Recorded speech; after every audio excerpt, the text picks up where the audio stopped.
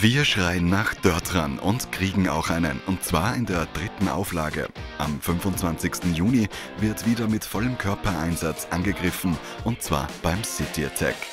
Unser Motto 2017 wird weiterhin sei äh, Qualität vor Quantität. Das heißt, uns ähm, äh, ist einmal ganz wichtig, dass die Qualität der Veranstaltung passt. Ja, also uns ist lieber, wir haben ein Hindernis weniger und die Qualität passt trotzdem. Trotzdem wird es neue Hindernisse geben, auch mehr Hindernisse wie in den letzten beiden Jahren. Äh, es wird Neuerungen geben in der IPS. Ja, es wird Neuerungen geben am Obig-Parkplatz. Wir haben da als neuen Partner das Bundesheer am Städten, ja, die uns da unterstützt. Äh, es wird Neuerungen geben am Hauptplatz, ja, da wird es ein bisschen zum Klettern. Ähm, ja, wie gesagt, ein paar weitere kleinere Änderungen natürlich auch noch. Details äh, wollen wir da noch nicht verraten, aber ja, es wird einiges an Neuen geben.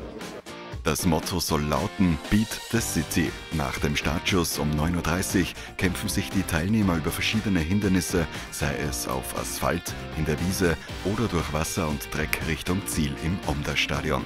Je nach Können und Selbstvertrauen kann man sich für 6, 8 oder 12 Kilometer Distanz entscheiden. Also es ist so angelegt, dass es für jeden Mann, jede Frau zu bewältigen ist. Es ist nicht zu anstrengend. Sechs Kilometer, glaube ich, kann auch jeder schaffen, der den Ehrgeiz aufbringt. Natürlich, wenn man äh, schnell unterwegs sein will, dann schaut es halt, wenn man sich vorher vorbereitet und ein bisschen laufen geht. Sportlich messen können sich dieses Mal vor allem Mitglieder der Polizei, Feuerwehr und Rettung, hat sich doch das Organisationskomitee doch eine besondere Wertung einfallen lassen.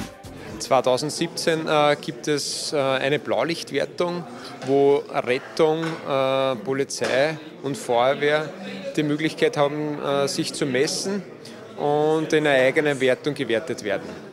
Es gibt auch eine Business-Wertung äh, für Firmenkunden, für Leute, die sich in der Firma einfach zusammentun und sich äh, gegenseitig messen wollen bzw. einfach Spaß an der Sache haben wollen. Spaß bringen vor allem die außergewöhnlichen Hindernisse, wie etwa die Rutsche am Hauptplatz, die bereits 2016 ein Highlight war.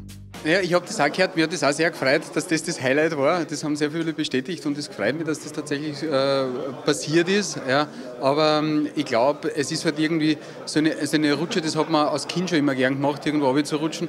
Und wenn man das da auch erleben kann, dann wird es wahrscheinlich das sein. Ja. Mit an Bord dieses Jahr die Sparkasse am Städten, die ab nun als Hauptsponsor beim City Attack auftreten wird. Ja, die Herrschaften haben nach wenigen Jahren hier einen ausgezeichneten Event auf die Beine gestellt. Äh, sie bringen Sport und Action in die Stadt am Städten rein.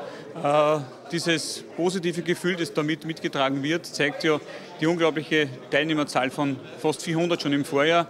Und es entspricht genau dem, was wir auch unterstützen und fördern wollen. Was Nachhaltiges, was professionell aufgebaut ist, was Positives, wo Lebensfreude äh, gelebt wird in der Stadt am Städten. Ich glaube, das ist in Zeiten wie diesen sehr wichtig, hier auch Unterstützung zu zeigen.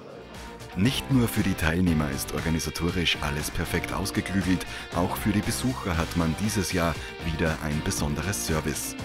Mit dem Shuttlebus kann man nämlich gemütlich vom Stadion bis zum Obi-Parkplatz, wo ebenfalls ein Hotspot installiert wird, fahren und die City Attack Runner anfeuern.